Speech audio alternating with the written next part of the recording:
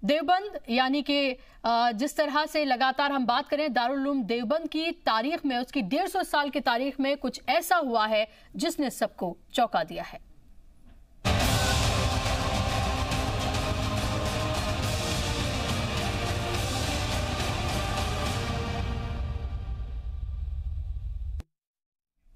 ڈیڑھ سو سال کی تاریخ میں پہلی بار فوج کے افسر دیوبند میں موجود دارالعلوم پہنچے۔ اتر پردیش اور اتراکھنڈ زون کے بڑھتی ڈائریکٹریٹ کے A D G major general سبھاش شرن نے دارالعلوم کے نوجوانوں کو ہندوستانی فوج اور فوج میں اپرچونٹیز کے بارے میں بتایا اور کہا کہ مولوی کی ڈگری والے نوجوانوں کے لیے فوج میں راستے کھلے ہیں۔ میجر جنرل سبھاش شرن نے مولانا مفتی ابو القاسم نعمانی سمیت دوسرے مولاناؤں سے بھی ملاقات کی اور دارالعلوم کے طلبہ کو فوج میں بھرتی ہونے کے لیے کہا۔ اس دوران مولانا اسحاق گوڑا نے کہا کہ یہ مسلمانوں کے لیے خوشی کی بات ہے کہ ایک آرمی نے دارالعلوم کے طلبہ کو آرمی میں آنے کی دعوت دی ہے آرمی کی طرف سے دعوت دی گئی ہے۔ دارالعلوم کے کئی مولانا نے اسے مودی سرکار کی اچھی پہل بتایا۔ انہوں نے کہا کہ یہ سب کا ساتھ، سب کا وکاس اور سب کے وشواس کے پی ایم مودی کے وعدے کے تحت ہو رہا ہے۔ اور صرف دارالعلوم دیوبند ہی نہیں، بلکہ بریلی مسلک کے جتنے بھی لوگ ہیں، ان کے، ان سے بھی کہا گیا ہے۔ تقریباً سو ایسے طلبہ ہیں جن کی لسٹ مانگی گئی ہے۔ بھارتی آرمی کے ایک بڑے ذمہ دار جنرل میجر سبھاش چرن دارالعلوم دیوبند تشریف لائے تھے۔ محتمم حضرت مفتی ابو القاسم نعمانی صاحب سے انہوں نے ملاقات کی، دیگر علماء سے ملاقات کی اور انہوں نے وہاں پر لائبریری کا بھی جائزہ لیا، تعلیم کے بارے میں پوچھا کیسے کیسے تعلیم دی جاتی ہے۔ تو وہاں کے ہمارے کچھ ذمہ داروں نے بتایا کہ تعلیم کس طرح سے دی جاتی ہے اور کتنے سال کا کورس ہوتا ہے۔ وہ بہت خوش ہوئے۔ لائبریری میں انہوں نے جو کتابیں، پستکیں دیکھی ایک بہت بڑا ذخیرہ جو دارالعلوم میں الحمدللہ موجود ہے، دیکھ کر بہت خوش ہوئے۔ انہوں نے دارالعلوم دیوبند کے جو چھاتر ہیں، جو وہاں سے فارغ طلبہ ہیں، ان کو بھی دعوت دی کہ وہ آرمی میں آ کر آرمی جوائن کریں، آرمی میں دھرم گرو بنیں اور آرمی کے لیے جتنا جو کچھ کر سکتے ہیں وہ کریں۔ تو یہ دارالعلوم نے دارالعلوم کے لیے ایک بہت بڑی بات ہے اور مانیہ نریندر مودی جی کا جو ایک نعرہ ہے، سب کا ساتھ، سب کا سب کا ساتھ، سب کا وکاس اور سب کا وشواس۔ تو مجھے لگتا ہے کہ اس پر کام ہو رہا ہے۔ یہ ایک بہت اچھی پہل ہے۔ مسلمانوں کے لیے ایک بہت خوش آئند بات ہے۔ تو اس کا استقبال کیا جا رہا ہے۔ جس طرح سے سبھاش چرن صاحب وہاں پر پہنچے، ان کے ساتھ ساتھ اور بھی فوج کے آفیسرز تھے۔ اور انہیں ایک طرح سے دعوت دی ہے دارالعلوم دیوبند کے طلبہ کو کہ وہ فوج میں آئیں اور فوج ان کا کھلی باؤں سے استقبال کرے گی۔ اس کے ساتھ ساتھ ہم آپ کو بتائیں کہ اس سے پہلے ایم آر ایم کے بانی، ایم آر ایم کے صدر اندریش کمار بھی دیوبند پہنچے تھے اور انہوں نے بھی وہاں پر جا کر ملاقات کی تھی اور اب ایک میجر جنرل کا وہاں پر جانا اور اس طرح کی تمام باتیں وہاں پر کہنا، لائبریری سے لے کر تمام چیزوں کا انہوں نے معائنہ کیا، کافی دیر تک وہاں پر رہے۔ اور ہم آپ کو بتائیں کہ فوج میں جو مسلم فوجی ہوتے ہیں خاص طور پر، ان کی تعلیم کے لیے مفتی عالم وہاں پر رکھے جاتے ہیں باقاعدہ طور پر، تو ان کے لیے تو ضرورت ہے ہی۔ اس کے علاوہ فوج کی خدمت کے لیے بھی وہاں پر جب سبھاش شرن پہنچے تھے تو انہوں نے اس کے لیے بھی کہا تھا۔ اور نہ صرف دیوبند بلکہ بریلوی مسلک سے جڑے ہوئے مولانوں سے بھی اس بات کی اپیل کی گئی ہے کہ ایک لسٹ باقاعدہ طور پر سونپی جائے۔ اسے کس طرح سے دیکھا جائے، اس کے کیا معنی نکالے جائیں؟ کیونکہ ڈیڑھ سو سال کی دارالعلوم دیوبند کی تاریخ میں ایسا پہلی بار ہوا ہے جب کوئی میجر جنرل وہاں پر پہنچے ہیں اور اس طرح سے انہوں نے ایک تجویز وہاں پر رکھی ہے۔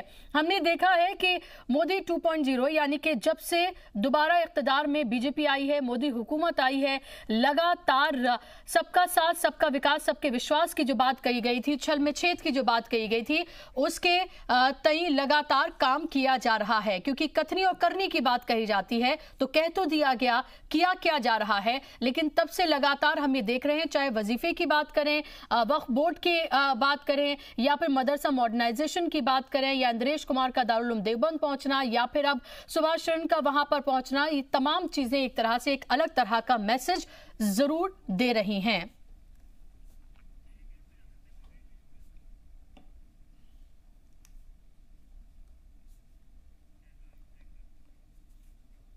تو اس کے کیا معنی نکالے جائیں؟ اس کو کس طرح سے دیکھا جائے؟ اس پر بات کرنے کے لیے خاص مہمانوں کا پینل میرے ساتھ جڑ گیا ہے، جن کا تعارف میں آپ سے کرانا چاہوں گی۔ میرے ساتھ میجر جنرل اشونی سویت صاحب ہیں ڈیفنس ایکسپرٹ کے طور پر جڑ گئے ہیں۔ اس کے ساتھ ہی ڈاکٹر گلریز شیخ ہیں، اسپوکس پرسن ہیں، بی جے پی کے میرے ساتھ جڑ گئے ہیں۔ مولانا سویب قاسمی صاحب ہیں، نیشنل پریزیڈنٹ ہیں۔ جمعیت علماء ہند کے ہمارے، میرے ساتھ اسٹوڈیو میں موجود ہیں۔ پروفیسر وشال مشرا ہیں، پولیٹیکل اینالسٹ کے طور پر جڑ گئے ہیں۔ رشی مشرا صاحب صاحب ہیں۔ سینئر جرنلسٹ کے طور پر میرے ساتھ جڑ گئے۔ ہیں تمام مہمانوں کا بہت بہت استقبال ہے۔ میں اور مہمانوں کے پاس جاؤں۔ سب سے پہلے میں اپنے ایکسپرٹ جو ڈیفنس ایکسپرٹ ہیں میجر جنرل اشونی صاحب، ان کے پاس میں جانا چاہوں گی۔ اشونی صاحب، ڈیڑھ سو سال کی دارالعلوم دیوبند کے تاریخ میں ایسا پہلی بار ہوا ہے، جب کوئی میجر جنرل یا کوئی فوج کے آفیسر جو ہیں وہاں پر پہنچے ہیں اور اس طرح کی بات انہوں نے کہی ہے۔ کس طرح سے اس کو دیکھا جائے؟ کیا مطلب نکالا جائے؟ اس کا۔ دیکھو، اس کو بہت ہی پوزیٹیولی دیکھنا چاہیے۔ آپ کو جیسے معلوم ہے بھارت کی فوج جو ہے وہ ایک ایسی فوج ہے جس کے اندر سب دھرم کے ہیں۔ ہندو، مسلمان، سکھ، عیسائی۔ اور جب ایک بار بھارت کی فوج کے اندر سینہ کے اندر کوئی جوان بھرتی ہو جاتا تو اس کا دھرم نہیں دیکھا جاتا۔ ہم ایک سب بھارتی ہیں۔ سب سے امپورٹنٹ چیز ہے دھرم کی امپورٹنٹ نہیں ہے ہم دیش کے لیے لڑتے ہیں اور بھارتی کراتے ہیں۔ اور ہمارا جیسے آپ کو پتا ہے کہ جو فوج کے اندر جو آفسر سابان ہوتے ہیں وہ ریلیجن اس کا وہی ہوتا ہے جو وہ جوان کرتا ہے۔ اگر وہ سکھ ٹروپس کو کمان کرتا ہے تو وہ ایک پرکار گردوارہ جاتا ہے۔ اگر وہ مسلمان ٹروپس کو کرتا ہے تو مسجد جاتا ہے۔ اگر وہ ہندو کو کرتا ہے تو ٹیمپل کرتا ہے۔ تو یہ جو بھارت کی بناوٹ ہے فوج کی بہت بہت ہی عہدہ ہے۔ اور آپ کو یہ بھی بتا ہوگا ہمارے اندر کنسپٹ میک کا۔ مطلب کی جس کو بولتے ہیں مندر مسجد گردوارہ تینوں ایک چھت کے نیچے ہیں۔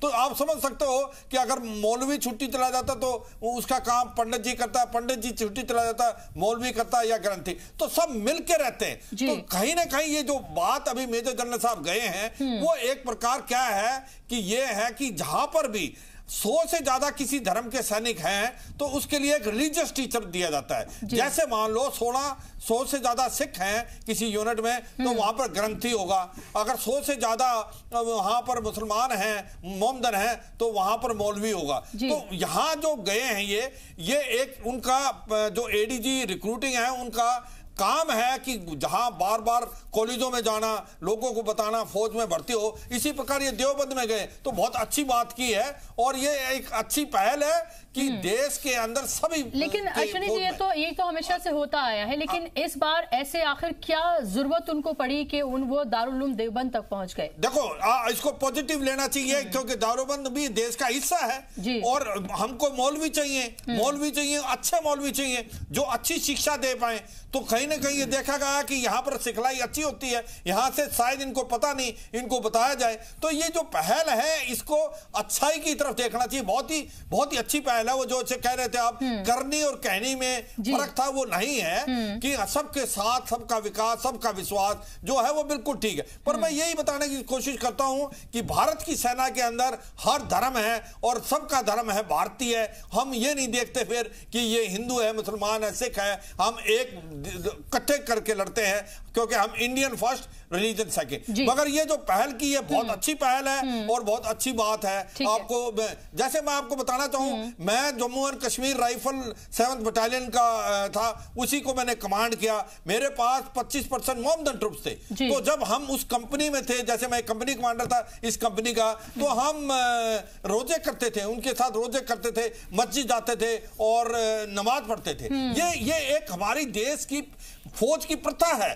جو ابھی ٹروپس کا ریلیجن ہے آفسر کا وہی ریلیجن ہوگا۔ تب ہی ہم مل کے چلتے۔ ہیں اسی لیے کبھی کسی ٹائم میں کسی نے پوچھا تھا کہ دیس کے اندر اندر کتنے ہندو کتنے مسلمان اور سکھ ہیں وہ کہا کہ یہ بات نہیں کی جائے گی کیونکہ دیس کے اندر جو بھی سینک سینہ میں آتا ہے وہ بھارتی ہے اور ریلیجن بعد میں دیکھا جاتا ہے۔ جی۔ تو یہ جو پہل کی ہے ایک جی۔ اچھی پہل ہے سب کا ساتھ سب کا وکاس سب کا وشواس۔ تو بات یہ ہے اچھے مولوی اگر فوج میں آئیں گے تو اچھی شکشہ دیں گے تو دیس کے لیے فائدے جی۔ میں۔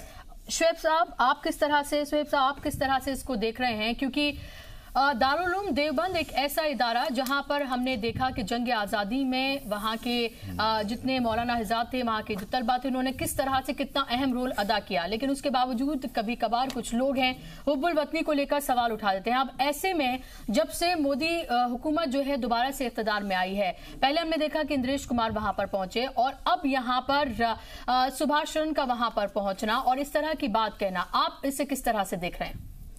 جی۔ دیکھیے سب سے پہلی بات تو ہے کہ پردھان منتری مودی جی کا جو یہ قدم ہے اس کا بہت خیر مقدم کرنا چاہیے اور بہت ہاں۔ شراہنی کام وہ کر رہے ہیں۔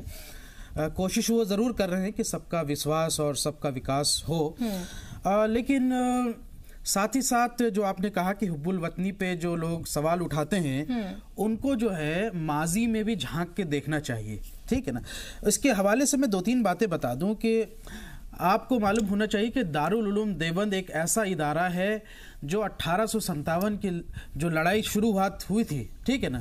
اس کے جو شروعاتی لوگ تھے وہی ان کے بانی یعنی کہ دارالعلوم دیوبند کے اسٹیبلش کرنے والے وہ وہی لوگ تھے جنہوں نے اٹھارہ سو ستاون کی لڑائی جنگ آزادی میں جو ہے وہ حصہ لیا تھا جس میں مولانا قاسم نانوتوی صاحب تھے جو کہ دارالعلوم کے سب سے بڑے بانی مانے جانتے ہیں اس کے بعد آپ کو معلوم ہونا چاہیے کہ مولانا محمود الحسن صاحب رحمۃ اللہ علیہ جن کو اسیر مالٹا کا لقب دیا گیا خطاب دیا گیا یعنی کہ مالٹا کے جیل میں وہ بند رہے تھے کئی سال کیونکہ انہوں نے تحریک ریشمی رومال چلائی تھی۔ جی۔ ٹھیک ہے؟ ہاں۔ یہ تحریک ریشمی رومال جو ہے وہ انگریزوں کے خلاف جو ہے وہ آزادی کی جنگ کا جو ہے بگل پھونکنا تھا تاکہ وہ سارے لوگوں تک جو ہے ہندوستان کے مختلف علاقوں میں جو ہے وہ کوڈڈ میسج جو ہے پہنچ جائے۔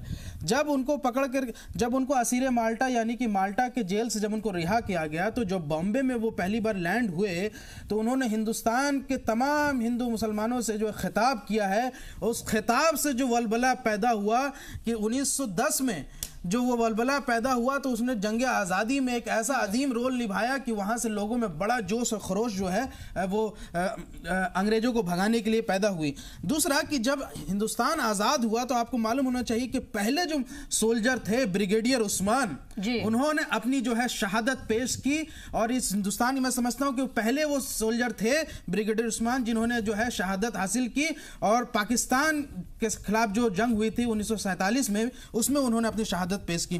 ویر عبد الحمید جو انہوں سے انیس سو اکہتر کے وار میں جو ہے پاکستانی ٹینک کو برباد کرنے کے لیے جو ہے انہوں نے اپنی جان کی جو ہے قربانی پیش کی۔ اور اسی طرح سے ابھی دیکھیے یہ بات صحیح ہے کہ تین پرسنٹ مسلمان ہی جو ہے اس وقت انڈین آرمی میں ہیں۔ لیکن جتنے ہیں میں سمجھتا ہوں کہ اور کوشش کرنی چاہیے کہ زیادہ سے زیادہ ہاں، آئیں۔ ہاں۔ صرف وہ نہیں کہ جو مولوی ہیں وہ تو ہیں ہی ریلیجیس ٹیچر کی ضرورت ہے ہاں۔ بلکہ مسلمان نوجوانوں کو بھی جو ہے انڈین آرمی میں زیادہ سے زیادہ آنے کی کوشش کرنی چاہیے۔ میں یہ اپیل بھی کرتا ہوں۔ جی۔ اور سرکار کو یہ آؤٹ ریچ کے لیے کوشش بھی کرنا چاہیے۔ اور جس ادارے سے میں تعلق رکھتا ہوں جامعہ ملیہ اسلامیہ آپ کو معلوم ہے کہ جامعہ ملیہ اسلامیہ میں جو ہے کئی ایسے لوگ تھے جو جنگ آزادی میں شامل تھے اور انہوں نے بنا تنخواہ لیے جو ہے جامعہ کی استھاپنا اس لیے کی تھی تاکہ اس کو انگریزوں کا جو ہے بائیکاٹ کرنا تھا۔ تو یہ ایک جو ہے اتہاس رہا ہے۔ میں ایک بات بڑا تھوڑی سی بات بتا دوں دس سیکنڈ میں کہ دیکھیے ایک بات ہوتی ہے کہ دیش بھکتی۔ اور ایک بات ہوتی ہے دیش پریم. دیش بھکتی کیا ہے کہ میں کسی کے اس پہ سوال نہیں اٹھاتا ہوں. سب ماشاءاللہ یہاں سے دیش بھکت ہیں اور کسی کو سرٹیفکیٹ بانٹنے کی ضرورت نہیں ہے۔ لیکن دیش بھکتی یہ ہوتی ہے کہ جب ہم کوئی رکھتے ہیں کہ امید کہ ہمیں کچھ ملے ریٹرن بیک یعنی کہ ہم کوئی نہ کوئی یہاں سے ایکسپیکٹیشن رکھتے ہیں۔ اور دیش پریم وہ ہوتا ہے کہ چاہے ہمیں اس دیش سے واپس کچھ ملے نہ ملے فائدہ ہو نہ ہو لیکن ہم دیش کے لیے مر مٹنے کے لیے قربانی دینے کے لیے تیار ہیں۔ میں سمجھتا ہوں کہ مسلمانوں میں یہی بھاونہ ہے اور باقی لوگوں میں ہے لیکن جو لوگ سوال اٹھاتے ہیں حب البتنی کو ان کو معلوم ہونا چاہیے کہ ہم دیش بھگ سے زیادہ دیش پریمی ہیں جو ہم جو ہے کوئی چاہتے نہیں ہیں چیزیں لیکن اپنی قربانی دینے کے لیے ہمیشہ تیار چلے ٹھیک ہے بہت اچھی آپ نے بات یہاں پر کہی ہے۔ گلریز شیخ میرے ساتھ موجود ہیں اسپوکس پرسن ہیں بی جے پی کے۔ گلریز صاحب تمام کوششیں کی جا رہی ہیں جب سے مودی حکومت دوبارہ سے اقتدار میں آئی ہے۔ اور سب کا وشواس کی جو کا جو جوڑا گیا ہے سب کا ساتھ سب کے وکاس کے ساتھ وہ وشواس جیتنے کی کوشش کی جا رہی ہے۔ لگاتار ہم نے دیکھا کہ چاہے سینٹر ہال سے وزیر اعظم کی سپیچ ہو یا پھر اندریش کمار کا دارالعلوم دیوبند جانا ہو یا پھر اب صبح شرن صاحب کا وہاں پر جانا ہو اور ایک طرح سے وہاں پر جا کر ایک اپیل کرنی ہو لیکن اس, اس کے بیچ کچھ ایسے واقعات بھی ہو رہے ہیں جو وشواس کو ڈگمگاتے بھی ہیں۔ دیکھیے سب سے پہلے تو جو ہمارا وشے ہے اس پہ میں کہوں گا کہ سب کا ساتھ سب کا وکاس یہ تو مودی سرکار 1.0 میں بھی تھا۔ لیکن سب کا ساتھ سب کا وکاس ہوا لیکن وشواس جو تھا نا وہ کہیں نہ کہیں ہم آپٹکس میں ہٹ رہے تھے۔ اور جو دوسرے تھے جو کہ جن کو ہم کہتے ہیں جو چھگن سیکولرزم والے، وہ سیاہ میں ان کو اپنی زبان میں کہتا ہوں سیکولرزم کے سپوریے۔ وہ آپٹکس دکھا کر مسلمانوں کو ایک ووٹ بینک کی طرح اپیوگ کرتے تھے۔ مودی جی کا یہ اسپشٹ مانتا ہے کہ مسلمان بھارت کا ناغرک ہے، وہ کوئی ووٹ بینک نہیں۔ ہم اس کو ناگرک کی طرح دیکھیں گے اور ہم دیکھتے ہیں۔ اس لیے کہ آپ پہلے والے ہم ہماری سرکار میں دیکھیں، تو یوجناوں کے استر پر وہی سب کیا گیا۔ مسلمانوں کے لیے جو انی سمودائیوں کے لیے کیا گیا۔ لیکن ایک کمی جو لگ رہی تھی جس کا ویرودھی پکش جو ہے وہ کئی بار لابھ لیتا تھا کہ جو پچاس ساٹھ سال کی جو ایکسکلوزیوٹی تھی مسلم سماج کی وشیش کر سرکاری اداروں میں وہ ایک آپٹکس بڑا اچھا نہیں دے رہی تھی۔ اور اس آپٹکس کے ساتھ میں کیول آپٹکس کو اپیوگ کر لیتے تھے یہ لوگ دوسری پکشی اور آپٹکس کے نام پر ووٹ لیتے تھے جبکہ ہم نے ہمیشہ کاریہ کر کے دکھایا۔ اور اس کا سب سے اچھا ادھارن دیتا ہوں میں کہ جن جن پرانتوں میں بھی پچیس پچیس تیس تیس سالوں سے بھارتی جنتا پارٹی کی شاشن رہا ہے، وہاں پر آپ سرکاری اداروں کو اٹھا کر دیکھ لیں کمپیریٹیولی تو جہاں پر ہمارا نہیں رہتا، تو سرکاری اداروں میں مسلم پرتیشت زیادہ ہوتا ہے۔ ایجوکیشن کا پرسنٹیج مسلمس کا ہائی ہوتا ہے۔ اور سب سے بڑی بات جیلوں میں مسلمس کی جو سنکھیا ہوتی ہے، تلناتمک روپ سے کم ہوتی ہے۔ ابھی یہ جو اسٹیپ ہوئی ہے، یہ آپٹکس بھی دیتی ہے کہ ہم انکلوزیو ہے اور ہمارے فولڈ میں آپ آؤ اور ہمارے فولڈ میں آپ چاہے آؤ نہ جی، آؤ جی۔ لیکن مکھی دھارا میں آپ کا سواگت ہے کہ ہم آپ کو ووٹ کے میں آپ کی بات سے میں آپ کی بات سے اتفاق رکھتی ہوں گلرے صاحب لیکن میرا آپ سے سوال یہ ہے جو وشواس کی بات کہی گئی میرا آپ سے سوال یہ ہے کہ اگر وہ وشواس ڈگمگا رہا ہے تو آپ اس کو کس طرح سے ابھی تو بات ہی کہی گئی تھی، ابھی تو جیتنے کی شروعات ہی کی گئی تھی، ابھی تو جیتا بھی نہیں تھا۔ اس سے پہلے ہی اگر اس طرح کی باتیں کی جائیں گی، اگر اس سے پہلے ہی جے شری رام، جے ہنومان کے لیے لوگوں کو پیٹا جائے گا، الگ الگ جگہوں پر انہیں ٹارگٹ کیا جائے گا، زبردستی ان کو ان کے ساتھ کی جائے گی، انہیں موت کے گھاٹ اتار دیا جائے گا، تو پھر تو وشواس ڈگمگائے گا صاحب۔ نہیں تو یہ تو لا اینڈ آرڈر کا وشے ہے اس کا لا اینڈ آرڈر کے انوروپ کاروائی ہوگی۔ آپ دیکھیے میں میڈیا کو بھی اس چیز کے لیے تھوڑا غلط مانتا ہوں کہ جن لوگوں نے جے شری رام کے لیے کسی کی پٹائی کی یا جھارکھنڈ کا جو واقعہ ہوا وہ بھارتی جنتا پارٹی کے لوگ نہیں ہیں آر ایس ایس کے لوگ نہیں ہیں۔ دیکھیے ہندوستان بہت بڑا کے لوگ ہوتے ہیں۔ یہاں پر بھی لوگ ہیں اور سامپردائک بھی ہیں۔ ہر پرکار کا ویکتی ہوتا ہے اور جو کوئی بھی جے شری رام بولتا ہے جنتا پارٹی سے کیسے اٹیک کر سکتے ہیں۔ یہ غلط ہے۔ اور آپ دیکھیے جو جو بھی ابھی تک یہ قصے ہوئے ہیں ان سب میں قانون نے اپنا کاروائی کی ہے۔ آپ کو یہ نہیں بولنا چاہیے کہ جو چیز ہمارے لوگ بھی کئی بار غلطی سے کہہ دیتے ہیں کہ گو پاکستان۔ یہ گو پاکستان جو ٹرم ہے اس کا ایجاد تو کانگریس پارٹی نے پوسٹ پارٹیشن کیا تھا۔ جی۔ اور ریسنٹلی میں سب سے ریسنٹ اور ڈاکیومنٹڈ فیکٹ بتاتا ہوں۔ آپ نے دیکھا ہوگا میں بنا ڈاکیومنٹڈ بات نہیں کرتا۔ ایمرجنسی کے سمے جب ترکمان گیٹ کا کانڈ ہوا تھا اور اس سمے مسٹر شرما تھے جو دلی وکاس پرادھیکرن کے ادھیش تھے اور رائٹ ہینڈ تھے وہ سنجے گاندھی کے، ان کا ایک بڑی گندی ٹرم انہوں نے یوز کی تھی۔ انہوں نے بولا تھا کہ میں جامع مسجد کے ایریے کو، ترکمان گیٹ کو تو منی پاکستان نہیں بننے دوں گا تو منی پاکستان کی ٹرم گو ٹو پاکستان یہ تو سب کانگریس کی ایجاد ٹرم ہے جو غلطی میں کئی بار ہمارے لوگ بھی اپیوگ کرتے ہیں اور مودی جی نے ان کو بھی بالکل بلرے جی صاحب دیکھیں جی آپ ایک بلا وجہ کا کمپیریزن کر رہے ہیں جس کی کوئی ضرورت نہیں ہے۔ دیکھیں اگر کچھ ہوا ہے اگر آپ اسے کھلے دل سے کنڈیم کر کر آپ یہ کہیں گے کہ کسی بھی قیمت پر اس کو برداشت نہیں کیا جائے گا تو تو آپ کا استقبال ہوگا۔ آپ اگر اس کی پیرلل کچھ کھڑا کرنے کی کوشش کریں گے تو یہ تو یہ ہوا نا کہ آپ ایک طرح سے جائز ٹھہرا رہے ہیں۔ یہی پرابلم ہے میں بھارت کی جنتہ پارٹی کی طرف سے اس پشتہ آپ کے نیشنل ٹیلی ویزن پر کہہ رہا ہوں کہ اس پرکار کے جتنے ایلیمنٹ ہیں ان کو برداشت نہیں کیا جائے گا۔ جھارکھنڈ میں چاہے ہو یا کہیں اور گلرے صاحب گلرے صاحب میں آپ آپ کا جواب دے دوں ایک جی۔ ٹھیک ہے ٹھیک ہے میں میں اپنے ٹاپک پر لوٹ رہی ہوں سویب صاحب میں آپ کے پاس آ رہی ہوں ایک منٹ۔ میں اپنے ٹاپک پر ذرا لوٹ رہی ہوں۔ میرا سوال آپ سے یہ ہے رشی مشرا صاحب کی ہم یہ دیکھ رہے ہیں کہ لگاتار کوششیں کی جا رہی ہیں اور ابھی جس طرح سے دارالعلوم دیوبند میں لگاتار یہ دوسری سرپرائز ایک طرح سے وزٹ ہم کہہ سکتے ہیں۔ پہلے اندریش کمار جب پہنچے تھے تو بھی کوئی پلان نہیں تھا اچانک وہاں پر پہنچے تھے۔ ابھی اگر سبھاش شرن صاحب کی بات کرتے ہیں وہ وہاں پر پہنچے ہیں تو اس کا استقبال کیا گیا ہے۔ انہوں نے تمام چیزوں کا معائنہ کیا اور جس طرح کی باتیں کہی گئیں۔ کیا اب آپ کو لگتا ہے کہ ایک قدم اب آگے مسلمانوں کو بھی بڑھانے کی ضرورت ہے؟ بالکل۔ دیکھیے تالی دونوں ہاتھوں سے بچتی ہے۔ اور جس پرکار سے سرکار نے پوزیٹیو رخ اپنایا ہے خاص کر میں این ڈی ٹو کی بات لوگ کرتے ہیں میں این ڈی ون میں بھی جو آپ دیکھیں گے تو آپ ایک کمپیریزن کیجیے گا یو پی اے ون کے یو پی اے کے ٹائم میں مائنورٹی ڈپارٹمنٹ بنی تھی۔ چھوٹا سا ایگزامپل میں آپ کو بتا رہا ہوں۔ U P A one U P A کے ٹائم میں مائنورٹی ڈپارٹمنٹ بنی تھی جس کا بجٹ تھا ایک سو تینتالیس کروڑ کے آس پاس۔ اور این ڈی اے کا بھی آپ دیکھیں گے جب سے مودی جی آئے ہیں مودی جی نے مائنورٹی ڈپارٹمنٹ کا جو بجٹ بڑھا کے کر دیا چار ہزار کروڑ۔ تو یہ ڈفرینسز ہے U P A versus N D A میں۔ تو کہیں نہ کہیں جو پوزیٹیو اسپیکٹ مانیہ پردھان منتری نے دکھایا ہے اور کہا بھی ہے سب کا ساتھ سب کا وکاس سب کا وشواس۔ اسی کا اگلا اسٹیپ ہے کہ آج جو ہمارے میجر جنرل ایسی سرن صاحب جو ہیں اور وہاں دارالعلوم گئے ہیں اور اس پرکار کا انہوں نے اپیل کیا ہے کہ آپ آئیں اور آرمی جوائن کریں۔ جیسے ہم سے پہلے جو وقتہ نے صحیح کہا ہے کہ آرمی میں آپ کنسنٹریشن دیکھیں گے خاص کر مسلمان طبقے کا تو تین پرسنٹ سے بھی کم ہے۔ تو کہیں نہ کہیں یعنی سب کا ساتھ سب کا وکاس سب کا وشواس جتنا ہے تو سینا میں بھی ان کی بھاگیداری بڑھانی ہوگی۔ آپ ہسٹری دیکھیے جب سے آزادی ہوا ہے ہمارے دیش کا ستر سالوں میں یعنی آپ دیکھیں گے تو مسلمانوں کی جو بھاگیداری ہے چاہے شکشا کا ہو چاہے وہ جاب کا ہو آپ دیکھیے پرسنٹیج کتنی کم ہے۔